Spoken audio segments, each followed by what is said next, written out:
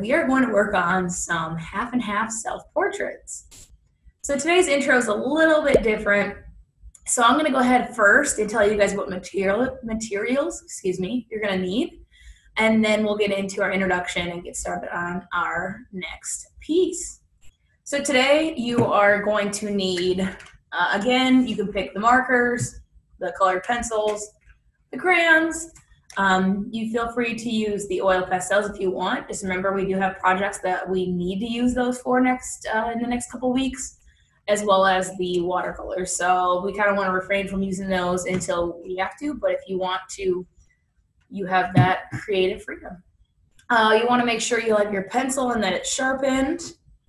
You need your construction paper, specifically the white paper in there um, your ruler. We have not used the ruler yet, so make sure you have that out and ready to go. And then that's one of our scrap pieces of paper. So remember when I originally showed you we had the magazine or the extra zoo books, and then we have the fancy paper back here. Don't use those just yet. Uh, you want to make sure you're using the paper on the opposite side of the zoo book or magazine. All right. Well, this is why I wanted to do our introduction a little bit differently. Since we're doing a self portrait, which means you are going to be drawing yourself, I wanted you to take just some time to brainstorm who you are. So, what you're going to do on your scrap paper, we're going to plan out a little bit differently in terms of art. Uh, I want you to go ahead and make two boxes because we're going to come up with two different lists. And if you need a parent or guardian to help you out writing this, that's completely fine. Um, no, we're not judging on spelling or anything like that as long as you know what you're talking about. So there's my two boxes. And on the left side, I want you to brainstorm words uh, or phrases that describe how you look on the outside. So if someone who doesn't know you was to see you across the room what are some things that make your appearance unique? What are some things that they would notice about you right off the bat? So I'm going to go ahead and put outside. Label that one box outside. I build backwards. That one says outside. And then the other box, I'm going to write inside. And that's the box that you are going to write out. What are some words that your friends would use to describe you on the inside. So, as a person, how would they describe you as a friend? How would they describe you as a sister, son, brother, cousin? Any of those types of relationships, someone that really knows you on the inside, what are some words they would use to describe you? So I'm gonna go ahead and I'm gonna do mine real quick, and then I'm gonna give you guys some time on a timer to complete your brainstorm. So on the outside, I usually have a braid in my hair, mostly because I don't know how to do my hair. So I'm going to write braid. Um, I'm tall. Let's see, I usually, even in my classroom when I'm teaching, I usually um, wear some pretty plain colored clothing. I don't wear a lot of patterns or anything. So I'm gonna put plain, nothing wrong with that. Let's see. Uh, I have green eyes. I know it's hard to see there, but they're very green, especially in the sunlight.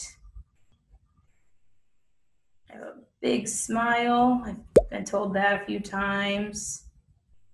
Hmm. Do one more. And I like to run. So I would say that like I try to keep yeah, moving. So I'm gonna put running. Usually people will see me. I'm usually running in the neighborhood. So that's my outside box. And now my inside box, again, going back to what my friends say. I think some people would say I'm creative. Funny, if I do say so myself. I don't know if my husband would agree, but I think I'm pretty funny. Um, unique. Hopeful.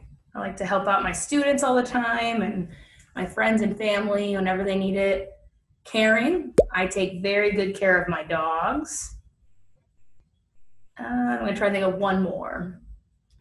I would say that I am very bright. I like a lot of bright colors. Although I dress pretty plainly, I like to wear bright colors usually, so I stand out. Uh, I really like bright colored shoes, so that's pretty pretty interesting. All right, so there is mine, and I would love to see your brainstorms. Even after we do this piece, I would love to hear what you guys came up with, or what you and your parent, or guardian, or brother, or sister, whatever you guys came up with for you. I want to hear. So I'm going to go ahead and put up a timer, and then you are going to fill in your two boxes.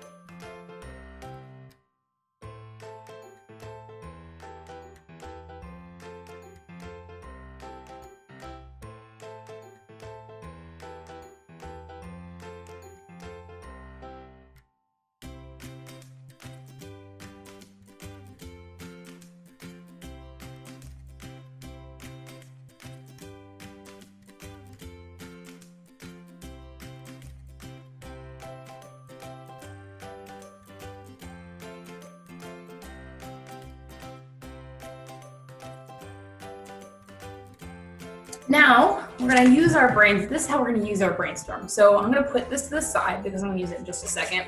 And I'm gonna take out another piece of white paper. Remember, I know there's, I think, just a handful of white paper in there, but you can always use our scratch paper as well. Um, or you can use any of the construction paper colors. I just don't wanna use all of them. Whoops, never went, went the wrong way um, because again, we're gonna have some things later where I want you to have to, different colors to choose from and stuff like that. So, but I've got my paper here. Um, you're gonna take your ruler and you are going to draw a line down the middle. So you might want to fold your paper in half. I'm not good at, at measuring things, so I figure that's a foolproof way to figure out where the middle is. And then I'm going to just lightly, it doesn't have to be a dark line, draw a line down the middle. Now, the idea of a half and half self portrait is not only how um, others see you, but also a reflection of how you see yourself. So that's kind of why we did the inside thing. So there are a couple of things in there that I don't know for sure. My friends or family might say, just because there's other ways to describe me. However, those are the things I aim for and I hope for. So, uh, for example, caring. Like I know I take good care of my dogs um, because I love them very much and they need me very much. Um, but again, that's something I aim for. And so, if someone was to ask me how I see myself on the inside, that's not something someone could guess just by seeing me on the outside. So here is the half and half, all right? So what I want you to imagine is from your shoulders and your face on that page. So I'm gonna do kind of like a half circle just to kind of get started. Right in like the bottom third, I would say.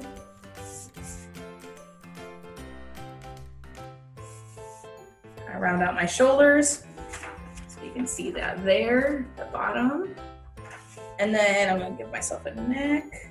I kind of went up a little high, that's okay. And then I'm gonna use that center mark to make the center of my face.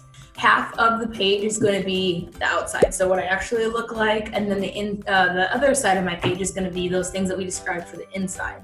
So I'm gonna start with the outside part of my portrait. And let's see, I'm gonna try and mimic what I look like today. So I'm gonna go with this side is gonna have my braid. Since I mentioned I always have a braid in my hair, something my students always always notice. So I'm gonna just, my hair's always pulled back in some, some, some capacity. So I usually have some stragglers on the other side, but for the most part, I got my braid. Um, don't do what I did. I accidentally put some stragglers on the other side, but remember that's gonna be our inside. So uh, really focus on just your half of the page. So I'm still focusing on the side of my braid. I'm gonna give myself an eye. And when I go to color I wanna make sure I use